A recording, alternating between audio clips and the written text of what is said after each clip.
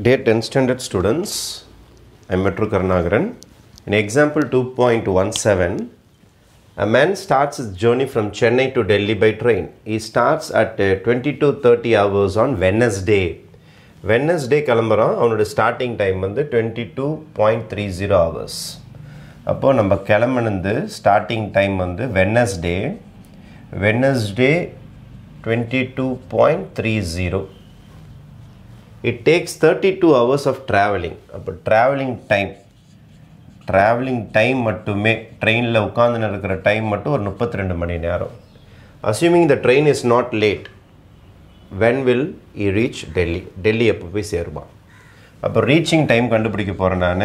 Reaching time என்னோடய heading வந்து reaching time train start பண்ண time twenty two thirty plus train ஓடின time thirty two is equal to எப்போ reach ஆனால் balance மாட் twenty four தான் போடணும். ஏன்னா railway time twenty four hours தான் யூஸ் பண்ணுவாங்க.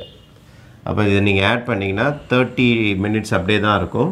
டூ ப்ளஸ் டூ ஃபோர் ஆகிடும் fifty four is equal to நம்ம இந்த எக்ஸ் தான் கண்டுபிடிக்க போகிறோம் மாட் டுவெண்ட்டி ஃபோர் இந்த எக்ஸ் வந்துடுச்சுன்னா வேலை முடிஞ்சிடுச்சு நீங்கள் என்ன செய்யுங்க? ஃபிஃப்டி ஃபோர் பாயிண்ட் த்ரீ ஜீரோவை டுவெண்ட்டி ஃபோரால் டிவைட் பண்ணுங்கள் டூ டைம்ஸ் ட்ரை பண்ணுறேன் நான். ஃபார்ட்டி எயிட்டு அப்போது ஃபோர்டீனில் எயிட் போச்சுன்னா சிக்ஸு பாயிண்ட் த்ரீ ஜீரோ இது அப்படியே வந்துடும் உங்களுக்கு. தேர்ட்டி மினிட்ஸு அப்போ இதுதான் balance six and half hours இருபத்தி நாலோட சின்னது தானே? இருபத்தி நாலோட சின்னதுன்னா அதான் ரிமைண்டர் நமக்கு.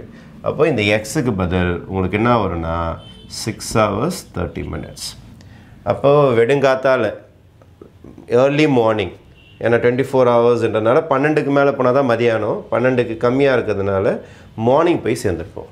என்றைக்கு மார்னிங் போய் சேர்ந்துருப்போன்றதை பாருங்கள் மேலே நம்மளுக்கு கோஷன்ட் என்ன வந்திருக்குது? டூ வந்திருக்குது. மேலே கோஷன்ட் வந்து டூ இந்த டூவை நான் பிரிக்கிறேன். ஒரு டுவெண்ட்டி ஃபோர் ஹவர்ஸும் இன்னொரு டுவெண்ட்டி ஃபோர் ஹவர்ஸும் சேர்ந்தது தான் four twenty four into two forty eight ஹவர்ஸ்னு போட்டிருக்கிறோம். அப்போ இங்கே ரெண்டுனா என்ன அர்த்தம்னா இங்கே ஒன் டே இருக்குது. இதில் ஒரு டுவெண்ட்டி ஃபோர் ஹவர்ஸ் இருக்குது. இதில் ஒரு டுவெண்ட்டி ஃபோர் ஹவர்ஸ் இருக்குதுன்னு அர்த்தம். ரைட் என்றைக்கு கிளம்புனீங்க நீங்கள் வி ஸ்டார்டட் ஆன் வெட்னஸ்டே அப்போது ஃபஸ்ட்டு டே வெட்னஸ்டேக்கு போயிடுச்சுன்னா நெக்ஸ்ட்டு டே தேர்ஸ்டேக்கு போயிடும். அப்போ this is con you are divided quotient போயிடுச்சு. டூ டேஸ் ஓவர் இப்போ வெட்னஸ்டே முடிஞ்சிடுச்சு தேர்ஸ்டே முடிஞ்சிடுச்சு. அப்போ இது ரிமைண்டர் வந்துருக்குது பாருங்கள் ரிமைண்டர் வந்து அதுக்கு அடுத்த நாள் வருவீங்க இப்போ வெனஸ்டே முடிஞ்சிச்சு தேர்ஸ்டே முடிஞ்சிச்சுன்னா அதுக்கு அடுத்த நாள் என்ன வரும்னா உங்களுக்கு ஃப்ரைடே வந்துடும் அப்போது ஆக்சுவலாக இந்த டே பார்த்தீங்கன்னா உங்களுக்கு ஃப்ரைடேவாக தான் இருக்கும். அப்போ இது என்ன எழுதணும்னு நீங்கள் reaches he reaches Delhi Friday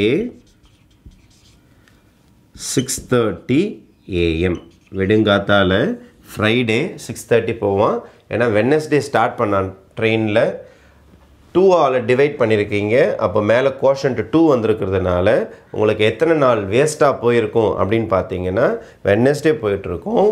அதே மாதிரி தேர்ஸ்டேவும் போயிட்டுருக்கோம். மூணாவது நாள் ஃப்ரைடேயில் தான் பேலன்ஸ் வருது நமக்கு. அந்த ஃப்ரைடேயில் இருக்கிற பேலன்ஸ் டைமில் தான் இப்போ ரீச் பண்ணியிருப்பீங்க இப்போ ஃப்ரைடே சிக்ஸ் தேர்ட்டி இப்போ டூ ஹவர்ஸ்னு கோஷன்ட் வர்றது நீங்கள் ஒரு நாள் தேர்ஸ்டே ஃப்ரை வெனஸ்டேக்கு எடுத்துக்கணும். இன்னொரு நாள் தேர்ஸ்டேக்கு எடுத்துக்கணும். இப்போ வெனஸ்டே தேர்ஸ்டே ரெண்டு நாள் போயிடுச்சு. மூணாவது நாள் தான் அவன் போய் சேர்ந்துருப்பான். மூணாவது நாள்னா தேர்டு டே தேர்ட் டே மார்னிங்கே போயிட்டு அவங்களுக்கு. Friday six thirty hours quotient divide பண்ணிட்டீங்கன்னா அந்த டேவை எடுத்துடணும். அந்த டேவை லெஸ் பண்ணிட்டீங்கன்னா you will reach on Friday okay thank you